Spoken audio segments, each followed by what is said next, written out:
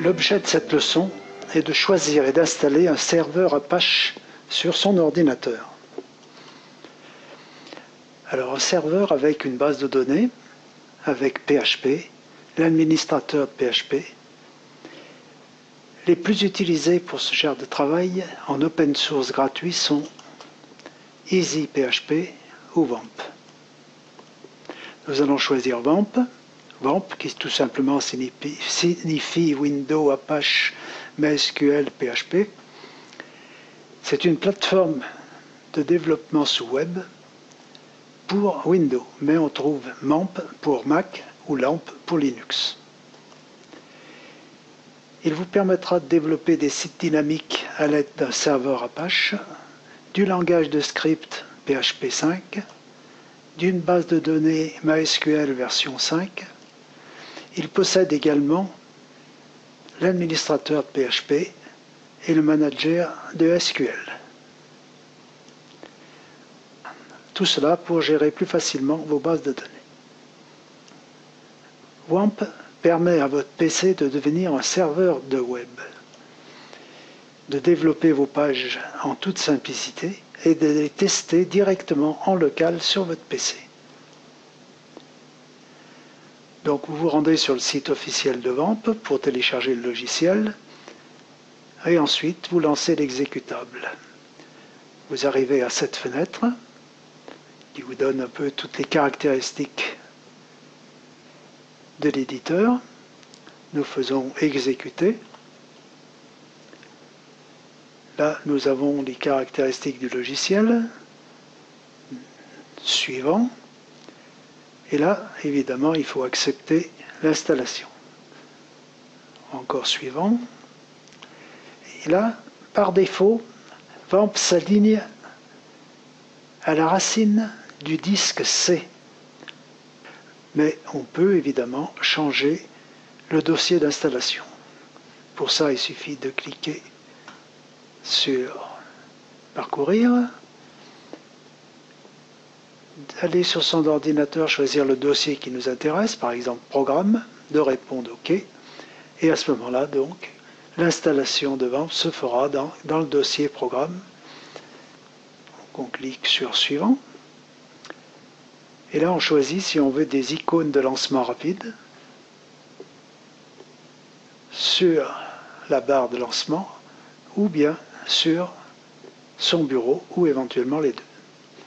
Suivant un petit rappel donc de tout ce qui va être installé sur l'ordinateur. Et là, on fait preuve de patience en attendant l'installation du logiciel sur l'ordinateur.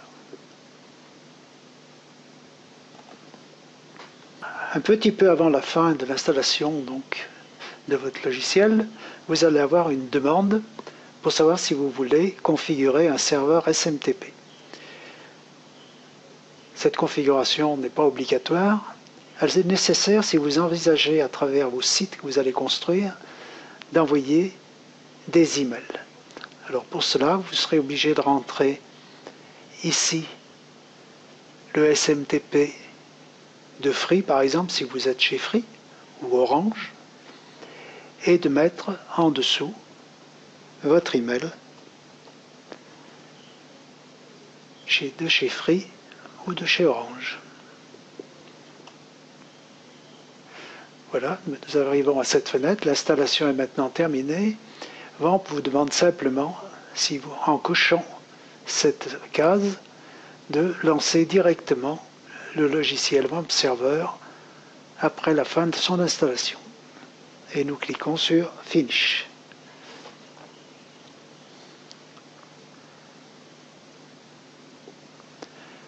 Alors maintenant que le logiciel est installé sur votre ordinateur, pour le lancer, comme tout logiciel, vous suivez le processus démarrer, tous les programmes, VAMP Server et Start VAMP Server. Beaucoup plus simplement, si vous avez pris la précaution de faire une icône de raccourci sur votre bureau ou dans votre barre de lancement rapide, vous cliquez sur l'icône. À ce moment-là, vous avez une fenêtre DOS qui va s'ouvrir et qui se refermera quand les services seront mis en route. Maintenant que le lancement de votre logiciel est fait, dans la barre des tâches, tout à fait en bas de votre ordinateur et à droite, vous avez un petit icône. Si cette icône est rouge, ça, ça signifie que certains services n'ont pas été mis en ligne. À ce moment-là, vous cliquez donc sur cette icône rouge et vous obtenez donc cette petite fenêtre qui s'ouvre dans laquelle vous avez démarré les services. En cliquant sur démarrer les services, vous devez obtenir un icône de lancement qui devient vert et à partir de là, votre logiciel est opérationnel. Alors, une petite remarque, on peut, au lieu de faire démarrer tous les services, ne démarrer qu'un seul service, un service Apache ou un service MySQL.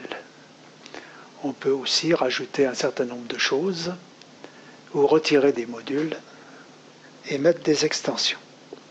Maintenant que l'icône est verte, le fait de cliquer sur cette icône vous ouvre de nouveau la fenêtre que nous devons devoir pour démarrer les services, mais vous avez la possibilité évidemment de cliquer sur localhost, localhost étant l'emplacement qui s'appelle www et tous vos dossiers, c'est-à-dire tous les sites que vous êtes en train de construire ou vous avez construits, doivent se trouver ici.